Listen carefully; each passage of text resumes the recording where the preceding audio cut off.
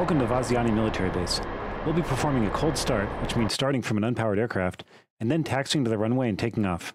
First, turn on electrical power by pressing right shift L. With the electrical power engaged, you can see that the HUD comes to life as well as many instruments and components. On instruments,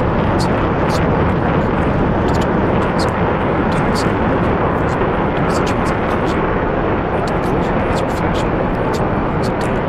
Turn them on by pressing right Alt or Control L. Navigation lights are red and green lights that mark the left or right sides of the aircraft. Turn these on by pressing right Control L.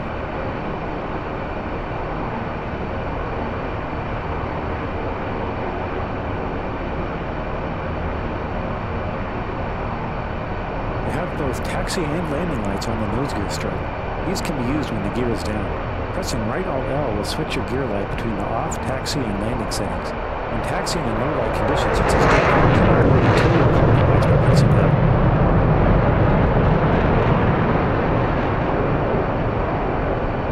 Next, we'll request startup clearance from the Airbase ATC, Air Traffic Control. 1. Press backslash to open the communications menu.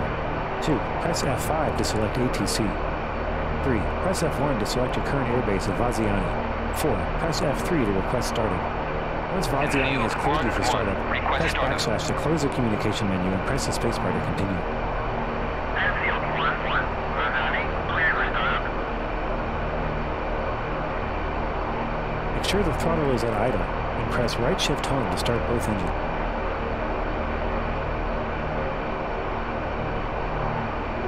As the engines start, you'll see the engine-related dials on the right side of the instrument panel come to life. Each engine startup is finished when it reaches its idle RPM of about 65%, as visible on the tachometer highlighted. Each engine will take about 30 seconds to start. You can continue with the startup checklist while the engines are spooling up. Press the spacebar to proceed.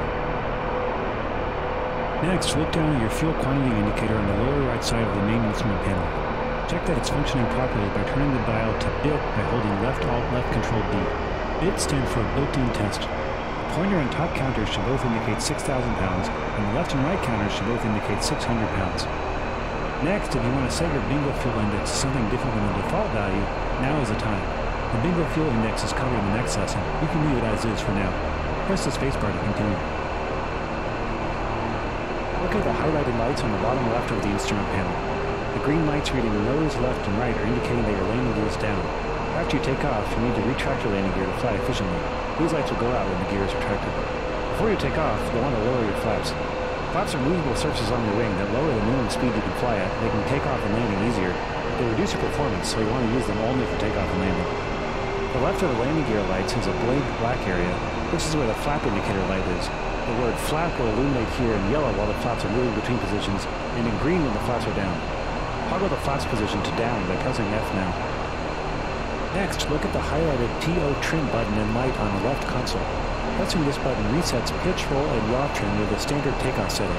Hold left Alt T until the light lights up. If you skip this step, you can still take off. You'll just have to pull back farther on the stick. Press the spacebar when you're ready to proceed.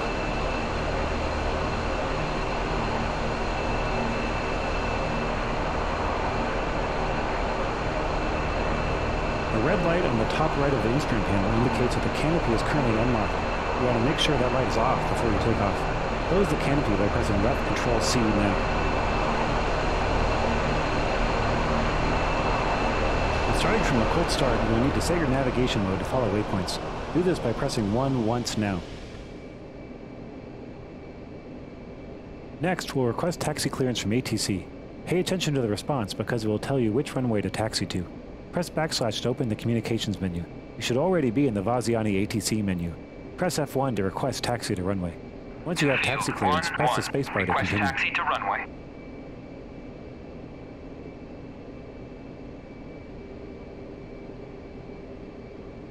Enfield 1-1. Vaziani, clear to taxi to runway 13. ATC told you to take off on runway 13, which means the runway on a heading of 130 degrees, that is, southeast.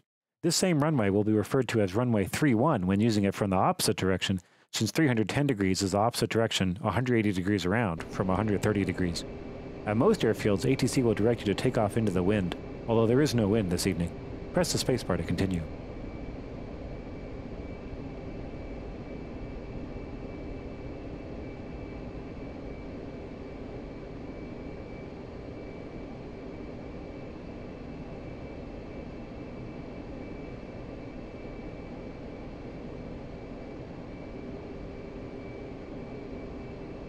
The highlighted instrument is the Horizontal Situation Indicator, or HSI, which shows a top-down view of your aircraft superimposed on a compass. It's showing that we're currently on a heading of 229 degrees, which is southwest, and you can see that 130 degrees is to your left. To get to runway 13, we'll need to taxi to the right to align with the beginning of the runway, then turn left on the taxiway at the end of the ramp, and then turn left again when we get to the runway to align along the runway at a heading of 130 degrees. There's a map in your briefing. Press left Alt B to bring it up. You can find maps of all airports in your, your knee which you can access with K and page through with the left and right square brackets. Press the spacebar to continue. To steer the Eagle, we'll use nose gear steering. In normal range, the nose gear will turn 15 degrees left to right. By holding down S, you'll temporarily switch to the maneuvering range, which gives up to 45 degrees left to right steering for tighter turns. Steer using your rudder controls, which are Z to turn left and X to turn right. Press the spacebar to continue. Your ground speed is displayed in the bottom left of your VSD after the letter G. It'll say G0 right now. Taxi speeds are too slow for the airspeed readout on your HUD to be reliable, so you should refer to your ground speed readout instead. Stay under 30 knots while taxiing and slow down to 10 knots when turning. Press the spacebar to continue. Wait. To get rolling, slowly increase the throttles by moving your throttle controller forward or pressing numpad plus until you have forward movement, but do not exceed 75% RPM. Pull your throttle controller back or press numpad minus to decrease your throttle if necessary. Turn right and taxi to the end of the ramp, being careful to avoid other aircraft. If you get going too fast, engage your wheel brakes by pressing W.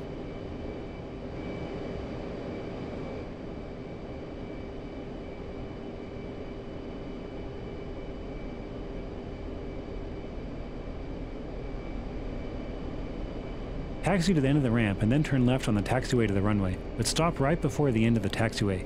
Use your brakes W if you're going too fast.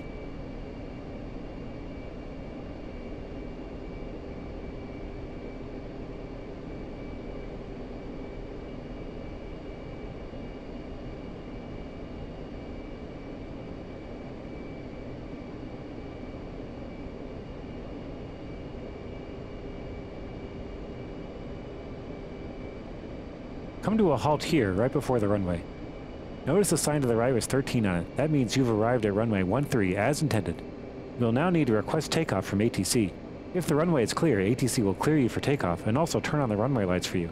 Press backslash to bring up the communications menu again, and press F1 to request takeoff. Press the spacebar when you've received clearance. One, request takeoff. Enfield 1-1. Vaziani, you are cleared for takeoff when ready. Climb 300 at QFE 28.29. Vowsy on the ATC has told you climb 300, which means after takeoff you should continue straight on the runway's heading until you reach an elevation of 300 meters or 1,000 feet. Continue your taxi now. When you get to the runway, align the aircraft down the center line and come to a halt on the 13 runway heading marker.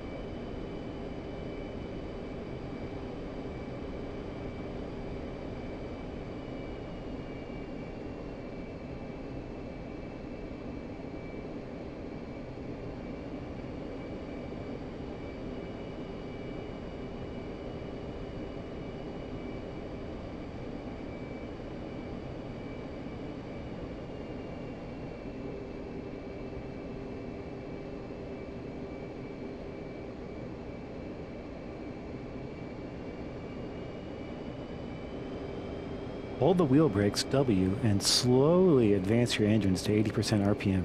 Once your engines are at 80%, release the brakes and push the throttles to MIL, not afterburner.